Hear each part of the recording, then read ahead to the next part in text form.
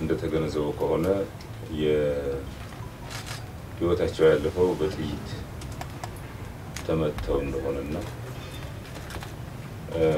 በነበሩበት መኪና ውስጥ በቀኝ እጃቸው በኩል ሽጉጥ ፖሊስ ሽጉጥ እንደነበረ አንድ ሰዓት ተኩልም አካባቢ ታይቷል። ቢሮውን ገብቶ እንደወጣ ማስረጃዎች አሉ፣ መረጃዎች የተወሰኑ ጠቋሚ መረጃዎች አሉ። ግን ገና ያልበሰሉ ነገሮች ስለሆኑ